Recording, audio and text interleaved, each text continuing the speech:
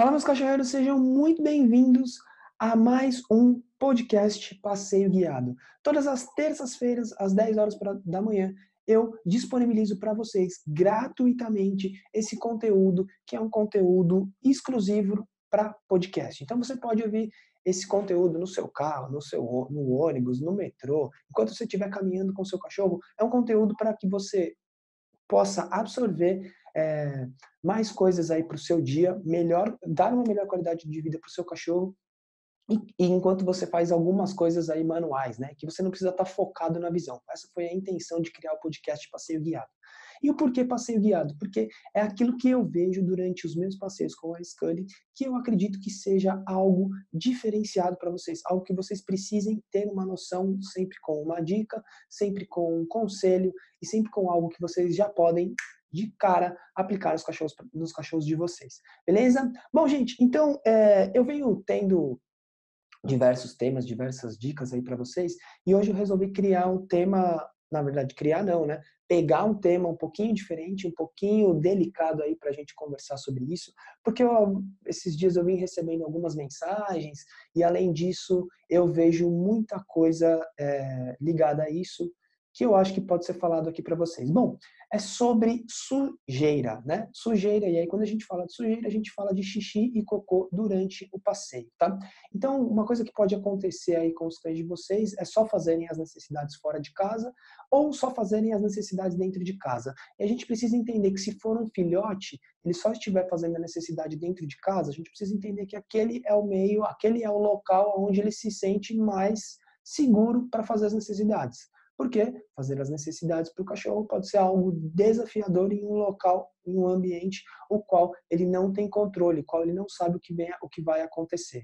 E se é o caso ao contrário, se o cachorro só faz fora de casa, ele está ligado sim à, à, à, busca de uma superfície diferente daquela que você tem dentro da sua casa. Se você aí dentro da sua casa só tem um piso frio, né, ele está sempre em busca de uma graminha, de algo que absorva. Então, que tal colocar aí dentro da sua casa algo que se assemelhe ao que ele busca fora da sua casa. Essa é uma das, das dicas básicas aí para a gente conseguir levar os cães é, que fazem xixi somente fora, dentro da nossa casa também. Mas, ó, não deixa de sair com o seu cachorro para que ele possa fazer as necessidades fora também, tá? É, e, e para quem não consegue fazer as necessidades fora, também você pode fazer esse truque que eu dei logo no começo, aí, essa dica que eu dei logo no começo, para que ele possa fazer as necessidades dentro. Quanto mais tempo ele ficar fora, quanto mais você brincar, quanto mais ele ficar tranquilo fora de casa, mais fácil ele vai entender que fora da, da casa também é algo positivo para ele, ele não precisa ficar com medo de, de fazer as necessidades fora da casa, né? Bom, beleza. E aí, quando a gente fala de sujeira, já vem uma coisa. Gente, uma coisa que, que as pessoas sempre me perguntam é o seguinte, Rafa, o que, que eu uso, o que, que eu utilizo para recolher o saquinho, o, o, o cocô do, do, da Scully, né? É, gente, eu uso aqueles saquinhos, né? E hoje a gente tem no mercado os saquinhos biodegradáveis, né? Então eu uso esse tipo de saquinho é, que vem enroladinho, que vem num rolinho, né? E você vai destacando e vai usando. Geralmente a Scully tende a fazer um cocô, às vezes ela faz dois cocôs no passeio, tá? Então eu sempre levo três ou quatro, sempre um, sempre dois ou três a mais, né? Às vezes você vai é, calça, e blusa de cachorreiro, quando aquelas blusas laterais que você enfia a mão lateral assim, sempre tem um saquinho de cocô lá, né? É, então calça e, e, as minhas calças também, todas as minhas calças bermuda, quando a gente vai passear de bermuda, todas as minhas calças e bermudas, elas sempre têm um saquinho a mais lá. Por quê? Eu já estou sempre preparado para caso aconteça alguma coisa, né? Para nunca deixar o cocô no chão.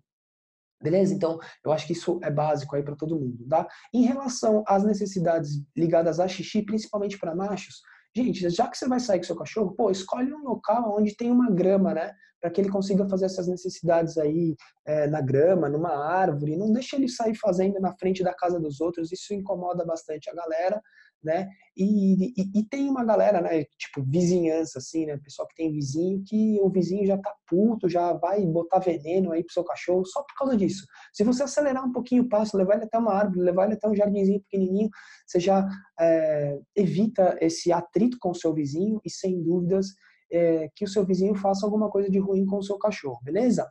Beleza, então vamos lá. É, é, eu entendo que vocês responderam beleza, eu já respondo aqui também. Gente, e aí, é, as pessoas, eu vejo as pessoas é, passeando ainda com jornal, né? Puta, querendo recolher é, cocô com jornal. é, fazendo coisas que, que não, não faz mais sentido, tá? Então usa o, a sacolinha que ela vai ser super, super legal, né? Uma outra, uma outra coisa que eu vejo também, gente, é, é dentro dessas dentro delas.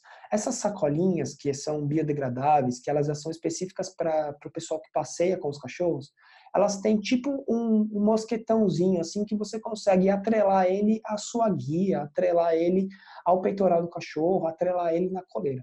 Eu não acho legal esse mosquetão, eu, eu prefiro que vocês façam o seguinte, vocês retirem é, é, a quantidade de saquinho que vocês precisam, sei lá, que nem eu, ah, dois, eu retiro quatro e eu vou com quatro.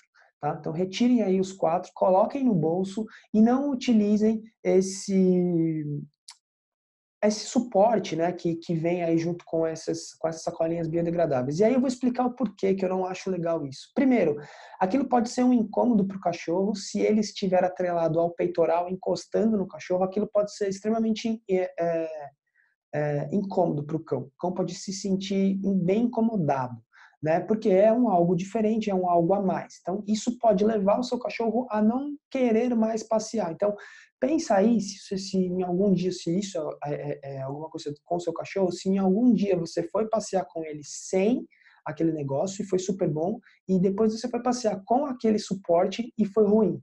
Tá? Então, pensa aí é, se isso aconteceu aí na sua casa, depois me fala aqui que, que, que se aconteceu, me, me, dá um feedback aí sobre isso. Porque isso pode ser uma das coisas que tá falando pro seu cachorro, ó, cara, se você for passear, eu vou colocar esse negócio aqui em cima de você, ele vai fazendo barulho e vai, e vai pulando de um lado pro outro, e, e, e o seu cachorro pode não curtir isso. Como pode ter outro cachorro que possa curtir, que, que, que nem ligue para isso, né? Mas aí eu vou falar que isso influencia muito para treino, tá? Por quê? É, geralmente e sempre o cachorro está ligado a condicionamentos.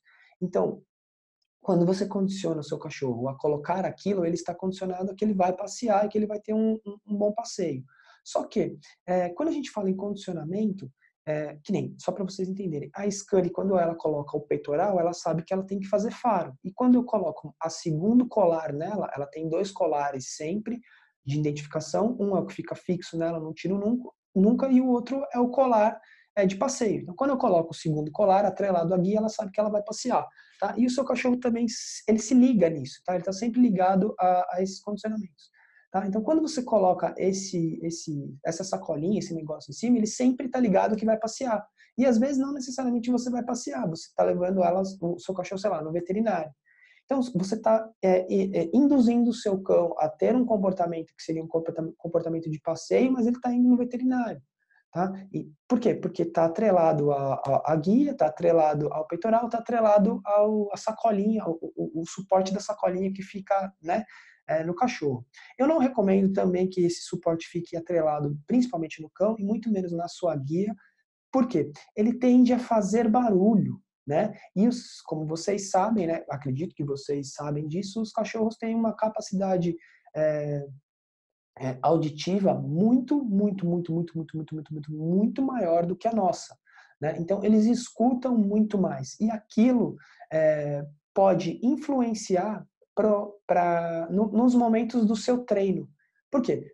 Pros, principalmente para os alunos do Manual do Cão Ideal, que eu ensino eles a usarem o clicker, que é um, um marcador de uma, um marcador de acerto, um marcador de bons comportamentos, um marcador de exercícios feitos corretamente, o clicker ele antecipa uma recompensa.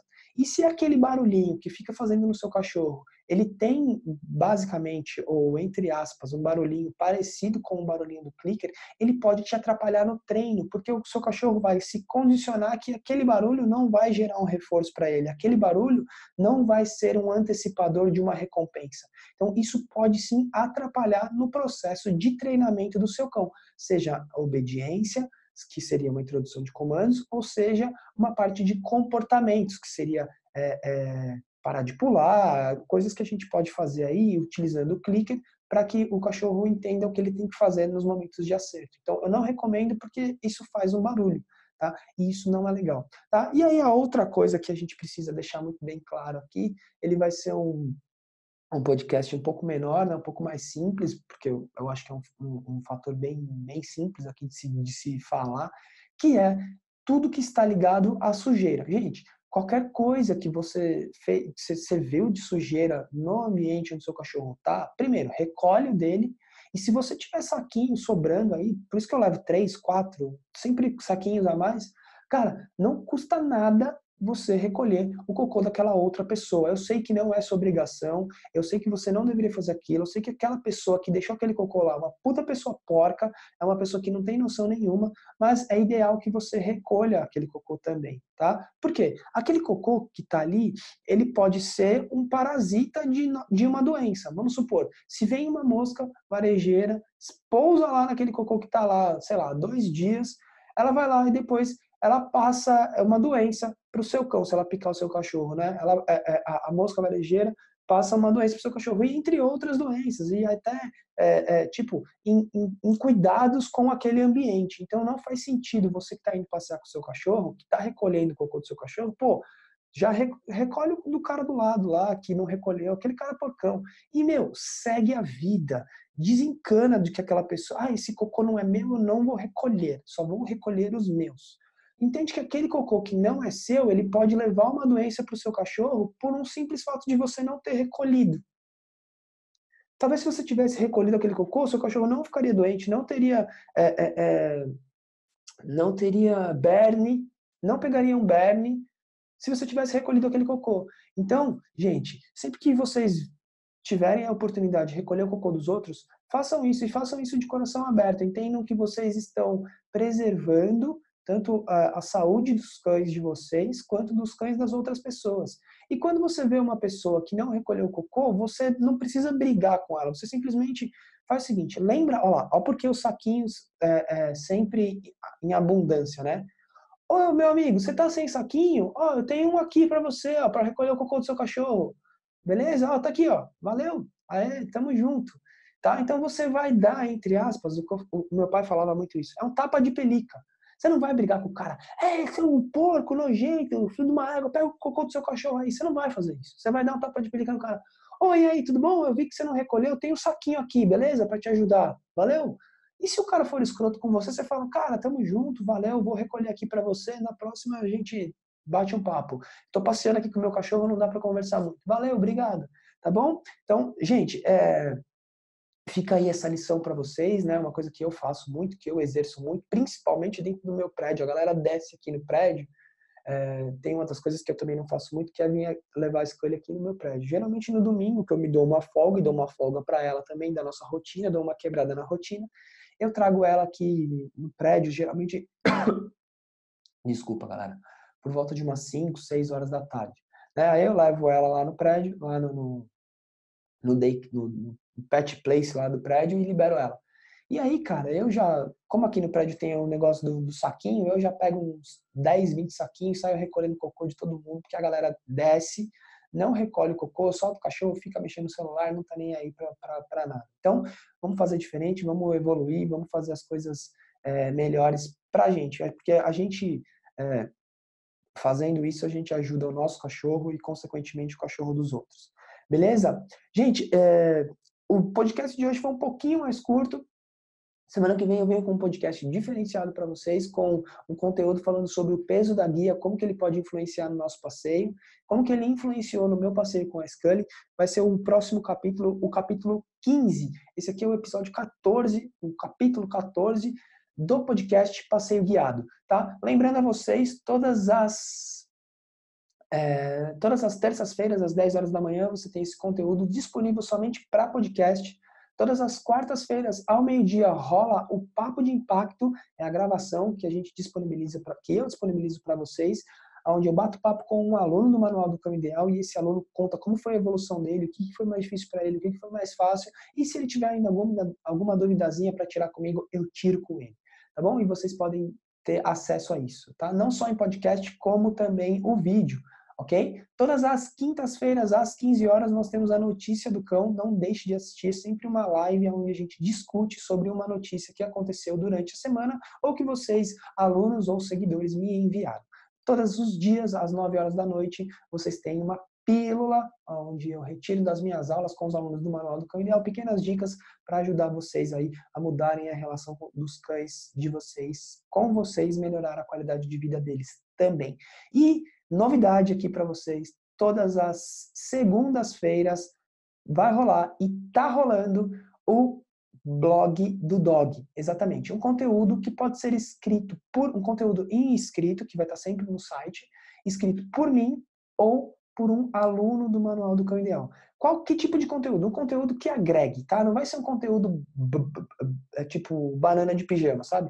É um conteúdo agregador. O que, que vai ser? A gente vai falar de raças, a gente vai falar de evolução, a gente vai falar é, a gente vai falar não, né? A gente vai escrever sobre raças, a gente vai escrever sobre evolução, a gente vai, eu vou escrever sobre novas técnicas, eu vou escrever sobre, é, pô, sobre diversas coisas. E o primeiro conteúdo que foi postado ontem, se você não viu ainda, dá uma fuçada, entra lá no meu site, dá uma fuçada, vê lá no Facebook, eu já postei no Facebook também, entra lá e, e, e leia esse conteúdo que foi postado ontem, que é um conteúdo muito legal, onde a minha aluna Jaqueline, aluna do Manual do Cão Ideal, ela teve a vida transformada pelo seu cachorro. O cachorro dela mudou ela de vida. O cachorro dela salvou a vida dela. Tá? Então vai lá e veja esse conteúdo e que eu, eu achei que deveria ser o primeiro porque é, é um conteúdo que é, o cachorro muda a nossa vida, né?